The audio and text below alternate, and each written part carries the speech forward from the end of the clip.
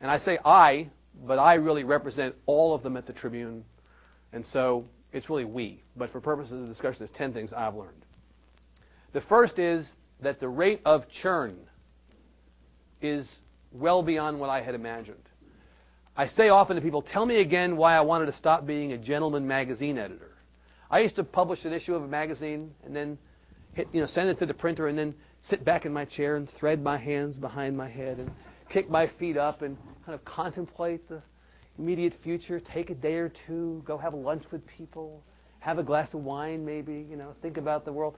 I don't have time to sneeze now. There, the, the, the, the pace, which I knew would be brutal, is like a hundred million times more brutal than I thought.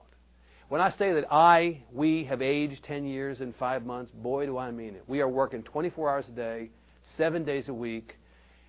All of our brain power, all of our bandwidth, mental, physical, is everything is devoted to this site. It is a beast that needs to be fed and fed and fed and fed, and the appetite never abates.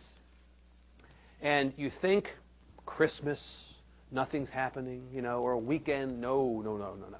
So it is literally like an all day deal. We really don't sleep more than a couple hours a night. We're constantly on call, constantly thinking about what to do. And that faster, faster, faster, faster, more and more and more and more aspect of this, I think, is inevitable. It's the nature of the medium. It's going to kill us soon. But until then, we're going to keep going.